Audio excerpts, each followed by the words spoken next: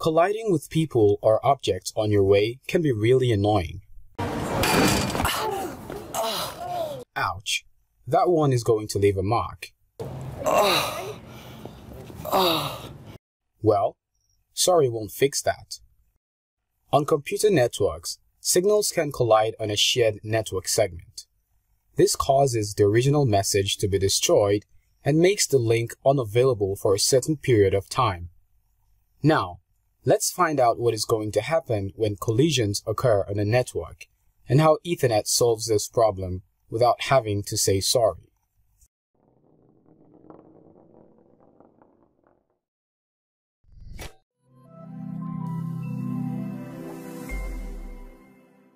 Hello guys, welcome to my presentation on CSMA slash CD on Ethernet. I will discuss how collisions are prevented and managed on Ethernet-based networks. Collisions can occur on a computer network when two or more devices attempt to send data at the same time through a single wire strand. An example is the bus network, where communication cannot take place in both directions simultaneously. This mode of communication is called half-duplex. In order to prevent collisions on Ethernet-based networks, a mechanism known as carrier sense, multi-access, and collision detection was developed, which applies to half-duplex communications. This is how it works. If PC A attempts to send data to PC B, it uses carrier sense to listen for any ongoing transmission.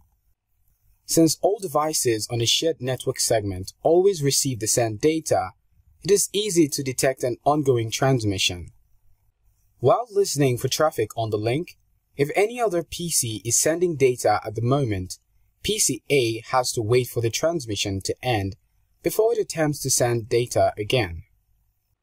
In a scenario where PC A listens for traffic on the link and discovers that the link is available, PC A places its data on the link until the transfer is complete. Multi-access. It means data sent by one device is received by multiple devices, which is true for a bus network connection. This means there is a possibility that two PCs may coincidentally listen for ongoing transmission on the link.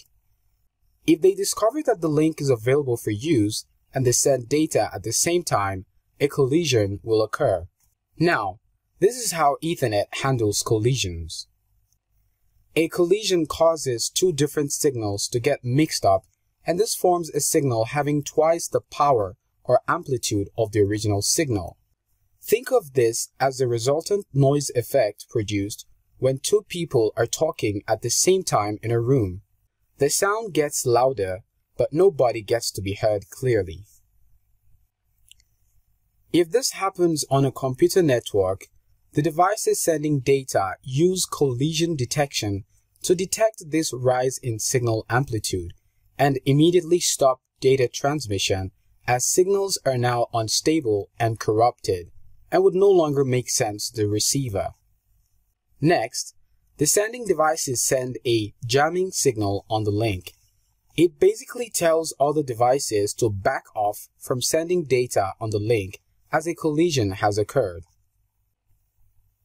When devices are notified of this collision, each device runs a back-off algorithm where a countdown time is generated randomly. It is done to allow the existing collision to subside because devices won't transmit data during this time.